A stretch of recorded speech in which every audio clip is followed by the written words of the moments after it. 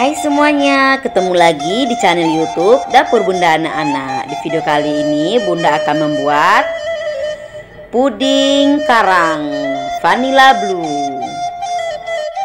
Sebelum menonton, pastikan kalian sudah mensubscribe channel YouTube Dapur Bunda Anak-anak agar bisa semakin berkembang dan semakin biar bunda, biar bunda semakin semangat lagi membagikan resep-resep terbaru lainnya. Bagi yang sudah mensubscribe jangan lupa aktifkan lonceng notifikasinya biar setiap kami upload video terbaru kalian tidak ketinggalan. Terima kasih. Bahannya satu bungkus agar-agar, satu bungkus santan kara 60, 65 ml, 5 sendok gula pasir, satu seperempat sendok garam satu butir telur dua bungkus dua bungkus pop es.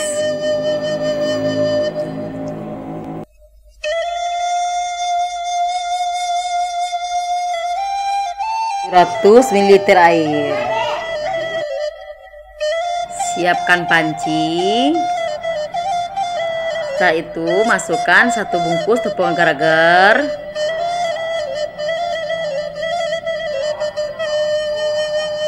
gula pasir.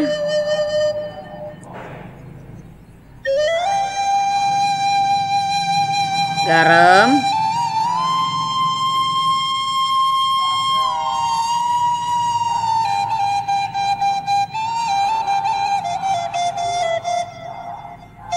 Dua bungkus pop es vanilla blue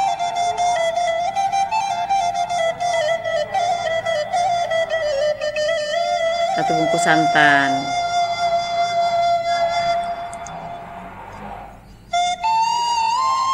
Baru dimasukkan 700 ml air.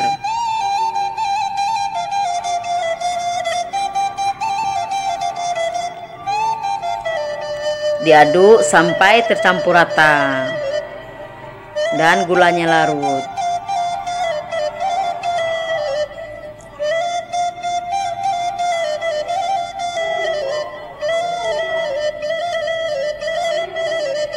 setelah itu kita hidupkan kompornya kita masak sampai mendidih.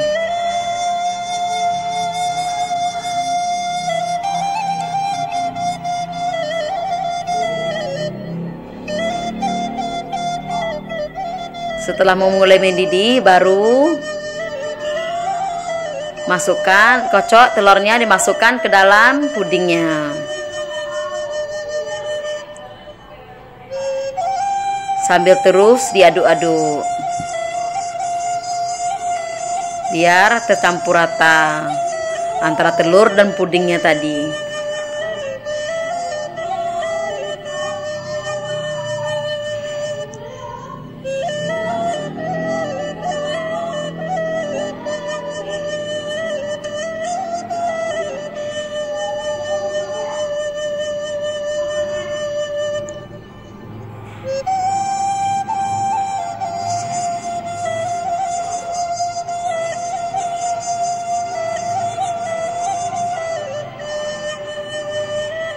setelah tercampur rata semua kita matikan kompornya. Baru dituang ke dalam loyang puding.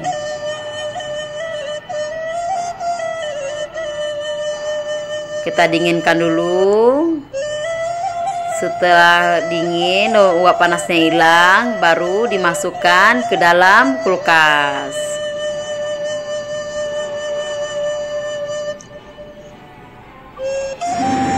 setelah dingin dan kita keluarkan dalam kulkas. Dan ini hasilnya. Cantik banget. Puding. Kerang. Pop es vanilla blue.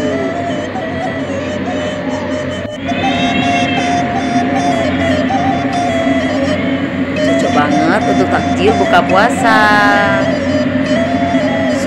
super menyegarkan banget. Dijamin enak dan ketagihan. Silahkan dicoba ya bun. Semoga berhasil